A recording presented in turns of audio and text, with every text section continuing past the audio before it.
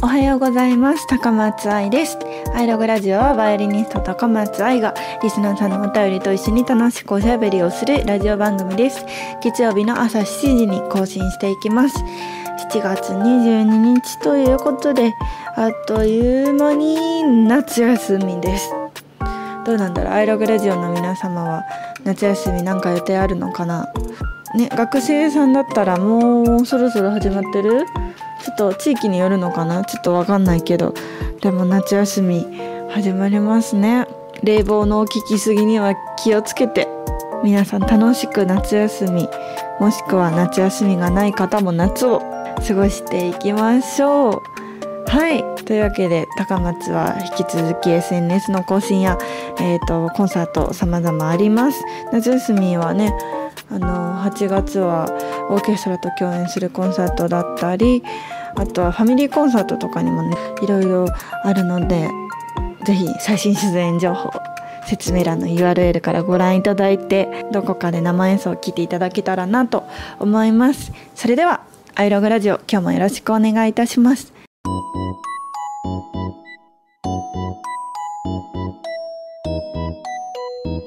アイログラジオ。現在アイログラジオでは皆様からのお便りを募集しております。夏バージョンのふつおた最近大笑いしたこと恋話を僕私と音楽と人生を変えた作品のコーナーのお便りを募集しています。説明欄にレター送信フォームの URL を貼っておきます。普段は私から私のことを発信することが多いですけどこのラジオではリスナーの皆さんのお話をたくさん聞けるのを楽しみにしています。ぜひお便りたくさんください。それでは今日は「ふつおた」と「僕私と音楽と」の2つのコーナーから3つのお便りと今週の1曲をお届けしますそれでは早速いただいたお便りをご紹介していきます。まずは「ふつおた」のコーナーです。ふつおたとは普通のお便りのこと。高松への質問から身の回りの出来事何か聞いてほしい出来事や知り合いには言えないお悩みまで何でもお送りください。迷ったらこのコーナーへ。というコーナーです。ペンネームあんまんの季節さんからのお便りです。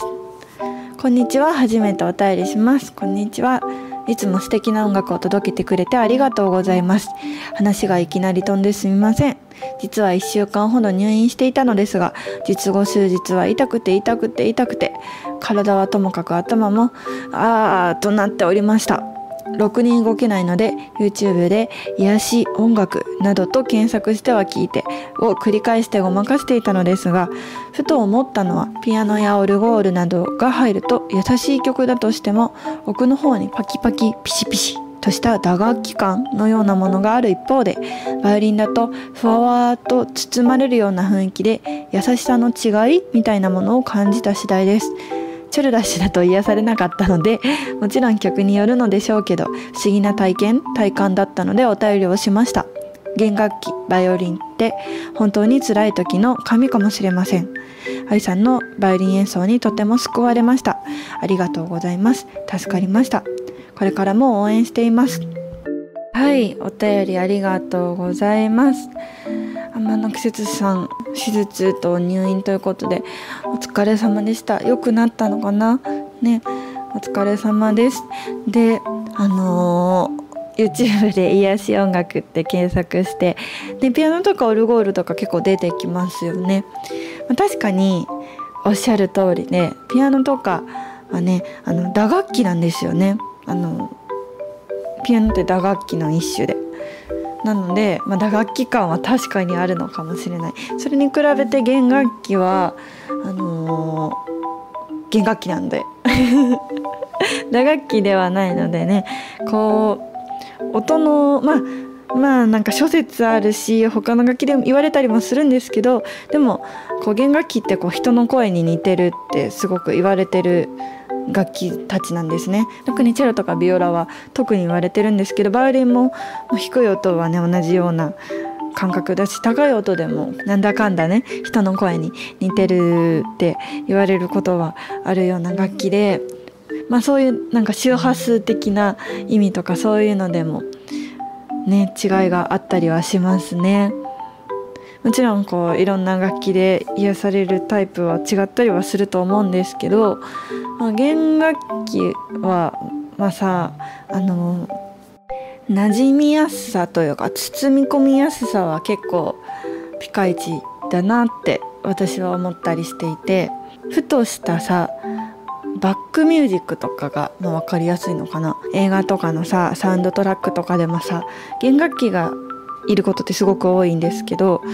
なんか存在感をすごく出すこともできるし存在感を出さずに曲の雰囲気を出すこともできるっていう楽器でもあるなってちょっと私は思っていてすごくいい意味でねでもそのやっぱ弦楽器って生の演奏がすごくこう人間の鼓動と共鳴する楽器でもあると思うのでおすすめですね。こうまあねあの私はねちなみにだけどめっちゃちなみにだけど私は弦楽器を聴くとちょっと仕事モードになっちゃって全然休まらないんだけど っていうプチ情報も置いときつつまあね私はどちらかというとオルゴールとかめっちゃ聴いちゃうタイプなんだけどでも弦楽器ってこう私たちじゃなくて聞いてくださる側の方々からしたらすごくそうやってねあの癒されるって言ってもらえることが多い楽器なので是非ねリスナーの皆様もあんまの季節さんのように癒されてもらえたらと思います。いやでもすごく嬉しいです。愛さんのバイオリン演奏にとても救われましたって言ってもらえてよかった YouTube やっててってすごい思います。ありがとうございますあんまんの季節さん。はいというわけでお便りありがとうございました。続きましてペンネーム高三女さんからのお便りです。高三女です。この前は読んでいただいてありがとうございます。大学に合格できたら報告します。待ってます。ルームズ交換ノートを読んでいてびっくりしたのが私も INFJ かっこ提唱者で HSP でいて座なんです。だから考え方とか共感できるところが多いのかも。兄弟でも性格は全然違うのに他人でも似ている人がいるのは面白いです。私には弟が一人いますが性格も才能も違っていて習い事は弟の方が習得が早かったんです。姉がやっているのを見ていたからかもですが勝手なイメージは。下の子過去弟や妹は負けず嫌いでスポーツや音楽でも上の子より活躍しがち。上の子過去兄や姉は競争心とかそんなにないけど親の圧が強めで疲弊しがちみたいに感じています。うちだけかもしれませんが愛さんはお兄さんとどんな関係でしたか？お兄さんは今でもバイオリンされていますか？というお便りをいただきました。お便りありがとうございます。まずね INFJ で HSP でいて座なんです。あの INFJ ってのはあの MBTI だけ？MBTI 診断っていうのが最近流行ってる。まあ結構何年か前からあるんですけどこういろんなね質問に答えてってあの何パターンもある中からどういうタイプの性格の人かみたいなのが分かるものがねあって私は INFJ なんですけど高三女さんも INFJ ということで。で HSP っていうのは Highly Sensitive Person っていうのでこうなんかこう、まあ、簡単に言うとちょっとなんか繊細だったり敏感な気質？気質っていうことでなんかその病気とかではないんですけどこう性質みたいな気質のことを言う人です。なんかこう体質とか自分でなんでこうなんだろうとか思ってこう調べてみると HSP ですっていうのがあったり HSP 診断があったりしてまあどう考えても HSP だなってのは分かったりするんですけどでいて座ということでいろいろ一緒なんですね。でもなんかさ確かにさなんかいろんな人をさ見ていてもさたまにそれこそ友達とかもそうだけど友達じゃなくても芸能人の人とかそういう人とかあとインフルエンサーの人とかそういう人とか見ててもなんかたまにすごく同じような考え方をする人だなとかすごく共感できる人だなっていうのはたまにいますよね。でもなんかそういう人に出会えるってちょっと嬉しいですよね。はい。で兄弟の話になるんですけど確かにねあの下の子は習い事というかまあ私も私はねお兄ちゃんがいて下の子なんですけど習い事、まあ、主にバイオリンについてはお兄ちゃんがやってるのをずっと見てたからなんか習得が早かったのは確かにあったしそのお兄ちゃんがずっとちょっと一歩先をさいるのをずっと見て真似するだけでうまくいくみたいなことはありますよねあるある。で競争心上の子は競争心とかないけど親の圧が強めで疲弊しがちっていうのはちょっと私はね上になったことないからねあんまり分からんけどまあ上は上の悩み下は下の悩みみたいなのがあるってことですよね。まあ私とお兄ちゃんどうだったかっていうといやでも私は何だろうなこうバイオリンはねさっきも言った通りお兄ちゃんがちょっと先をやっててそれを追いかけてたからすごくなんか楽に楽にという言い方はあれだけど比較的楽にあの器用に上手になれた方だとは思うんですけどでもね逆にね逆にねスポーツとか音楽じゃなくて勉強とかはお兄ちゃんが結構勉強ができたので私はあのそれを先に勉強ができてるお兄ちゃんを見てるじゃないですか。で自分がいざやってみるとお兄ちゃんよりできてないことに気づいてで音楽の道に走った節はちょっとありますね実はあんまり行ったことないけど人に なんかもしかしてねあのお兄ちゃんが全然勉強ができなかったら私ひょっとしたら普通に勉強で生きていこうかなとか思っ勉強で生きていこうかなというか勉強で進学しようかなとか思ったりはした可能性はあると思うんですよ結構。でもやっぱり上の子ができることじゃないことを下の子はやらないといけないっていう感覚はある人は多かったりするんじゃないかなってのは下の子目線の話で思ったりしますねだから勉強に限らず上のお兄ちゃんとかお姉ちゃんがめっちゃなんか得意 na スポーツとかあって自分もそれをやってたとして下の子もそれをやってたとしてでもそれがその上のお兄ちゃんとかお姉ちゃんにかなわないってことを気づいた時に続ける人って意外とあんまりいないんじゃないのかなって勝手に思ったりしてます。わかんないけどね実際は下の子の感覚ってやつですでお兄さんお兄ちゃんそうだからお兄ちゃんはねバイオリンも勉強も結構比較的できた人だったんですけどまあでもどちらかというと私はバイオリンの方がお兄ちゃんに近づけてたかなって思ってたから結局バイオリンを選んでで私はバイオリニストになったわけですが。どんな関係かって言われるとどうなんだろうね。結構私根本的についていくの大好きなタイプなのでお兄ちゃんの真似をいつもしてました。結局は。お兄ちゃんの真似をしてやってみた勉強はなんかお兄ちゃんほどはできなかったけどお兄ちゃんの真似をしてやってみたバイオリンはできたからまあバイオリンやってます。でお兄ちゃんは今もバイオリンされてますか？っていうのはお兄ちゃん最近やってるのは見たことないですねもうお仕事やっててバイオリンやってるのは大学生の頃まではねやってたんですけどそれ以降は知らない見たことないです。って感じかな。はい。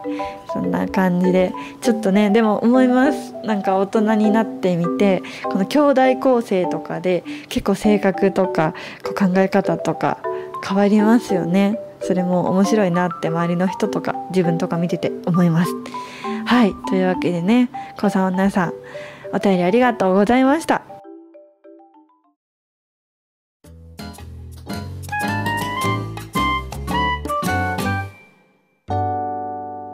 アイドルラジオ。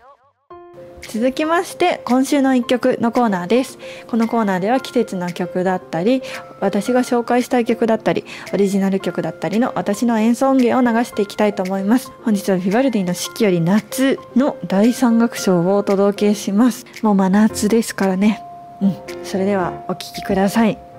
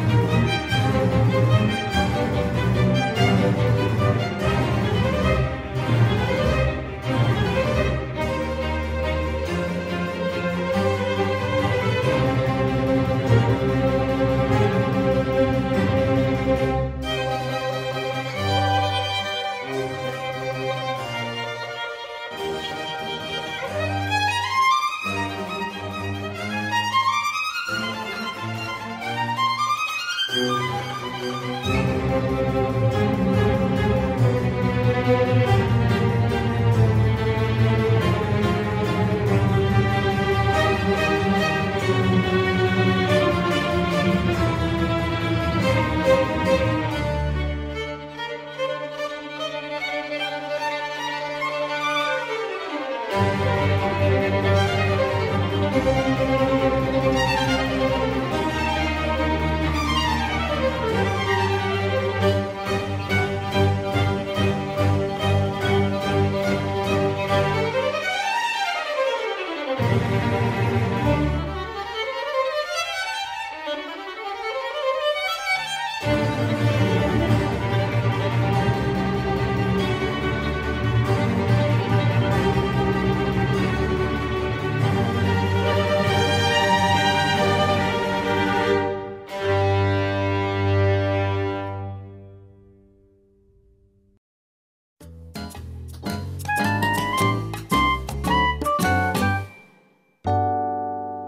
アイドルラジオ。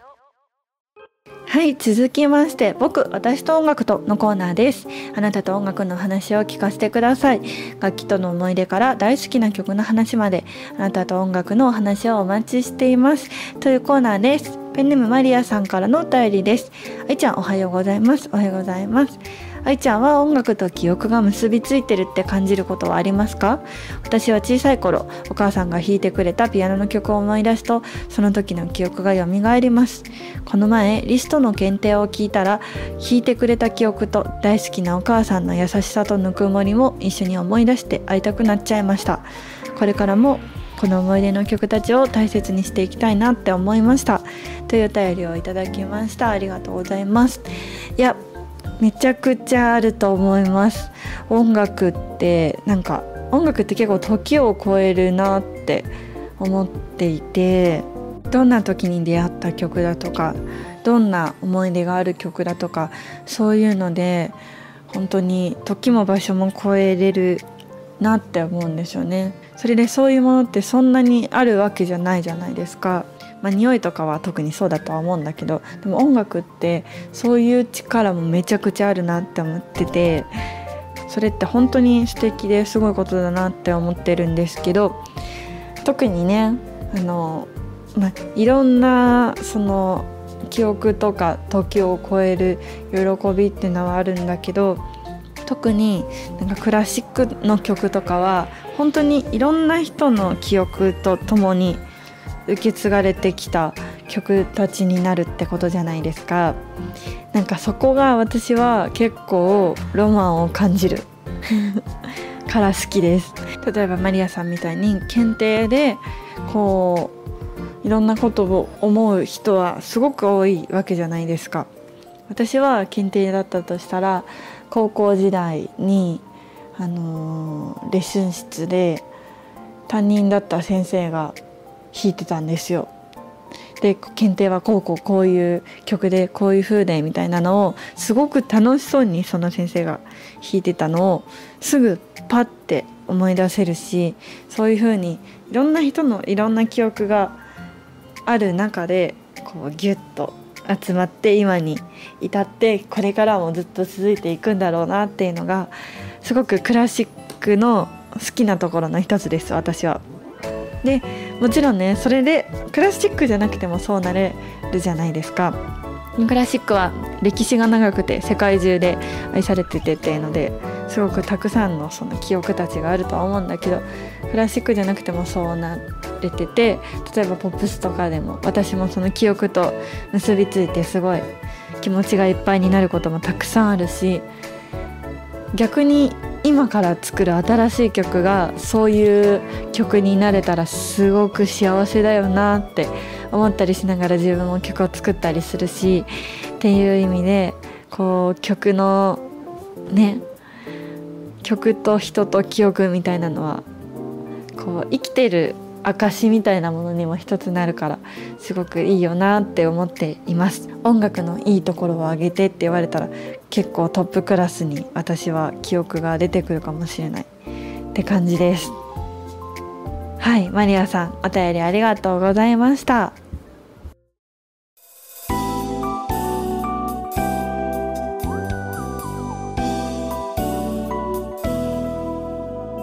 アイドラジオ。はいこんな感じで今日は2つのコーナーより3つのレターとビバルディの四季より夏でお届けしました。皆さんもたくさんのレターをありがとうございます。またギフト付きでレターをくださった皆様もありがとうございます。ラジオで読めていないレターも全部読んでいます。次回も夏バージョンのふつおた最近大笑いしたこと恋話を僕私と音楽と人生を変えた作品のコーナーのお便りを募集します。ぜひ皆さんお便りたくさん送ってください。説明欄に本日ご紹介した様々な URL が貼ってあります。はい今日のアイログラジオもありがとうございました。今週も元気に楽しく生きていきましょう。それではまた次回。バイバーイ。